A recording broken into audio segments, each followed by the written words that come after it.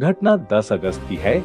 बड़का गाँव में एक युवती को रात में एक युवती को कान पकड़कर उठक बैठक कराया गया और पीटा गया। इस घटना के 10 दिन बाद स्थानीय विधायक अम्बा प्रसाद पीड़िता युवती और उसके परिवार वालों से मिली और मुस्लिम समुदाय से राखी बंधवाया। विधायक अम्बा प्रसाद द्वारा दोनों पक्षों के बीच समझौता कराने के बाद एक प्रेस नोट जारी किया गया है। अम्बा प्रसाद ने कहा कि कुछ लोग गाँव का माहौल खराब करने का प्रयास कर रहे हैं। दूर दूर से कई संगठनों के लोग आकर इस विवाद को सांप्रदायिकता का रंग देकर हमारे गाँव समाज का माहौल को खराब करने का प्रयास कर रहे हैं। उन्होंने बताया कि पीड़िता की माँ ने कहा कि जिन लोगों ने मेरी बेटी को प्रताड़ित कर इस तरह का कृत्य किया है, उनको जल्द से जल्द सजा मिले। इसमें किसी धर्म विशेष अथवा समाज का कोई दोष नहीं है। बड़कागांव विधायक अम्बा प्रसाद ने ट्वीट करते हुए कहा, बड़कागांव के सिरमा पहुंचकर पीड़ित बच्ची व परिवार से मिली। मामले में गिरफ्तारियाँ हुई हैं, अन्य आरोपियों की खोज जारी है।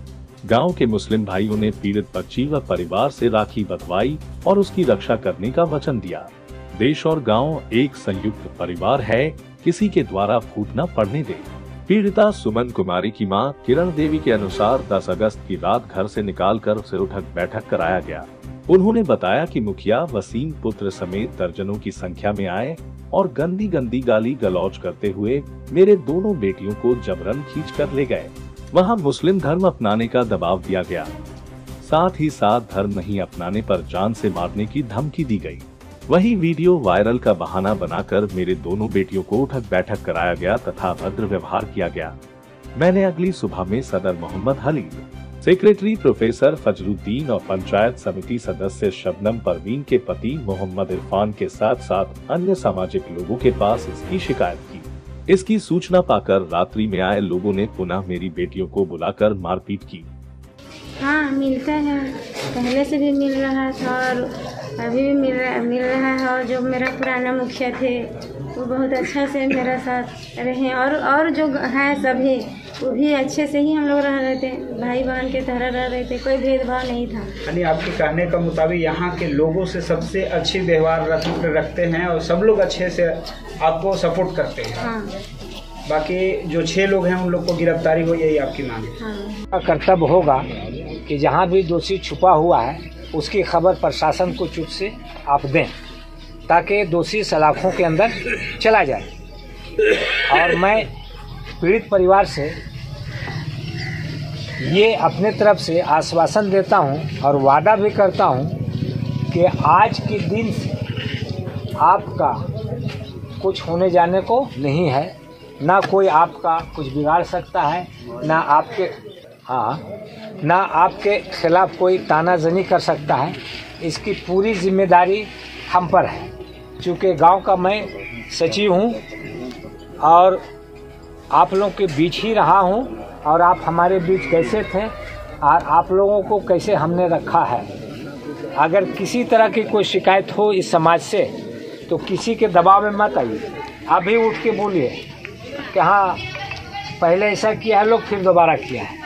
ऐसा अगर कोई बात है ऐसी कोई बात है तो सभी समाज के सामने रखें। है कुछ? नहीं। तो हम समाज पर भरोसा है ना? है? ठीक जितना हम लोग किए आप बहुत उदास हैं। आज से उदासी इसको खत्म कीजिए। आपके साथ हैं। अच्छे से खाना बनाइए खाइए पिए रहिए। और जैसे पहले सुमन जैसे चलते थे बाहर निकलना आना जाना।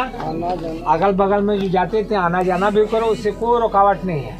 और किसी ने जरा सा भी पूछ के हमारे पास तुरंत हो। करो फ़ोन। तो देखो तुम्हारे सामने उसकी दशा क्या करते हैं हम?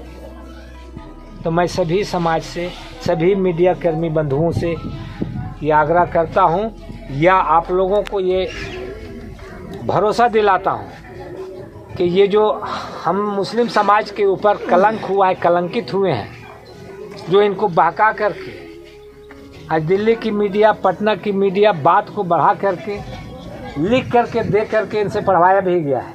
यहाँ तक की रिपोर्ट है। इसको पढ़ो, लिख करके पढ़वाया भी गया है। और उसी बात को जिन लोग रखा। यहाँ किसी तरह का धर्म परिवर्तन, गोमांस या किसी तरह की बात नहीं थी। कुछ हवा उड़ी जिसमें कुछ लोग आए और हवा में ये घटना घट गई।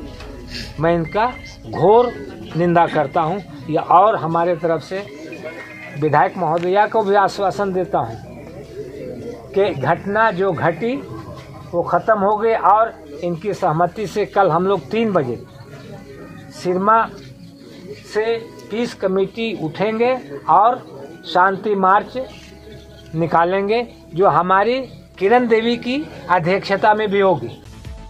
अपने राज्य से जुड़ी हर ताज़ा खबरों के लिए आप हमें सब्सक्राइब करें, साथ ही बेल आइकन बटन दबाना ना भूलें।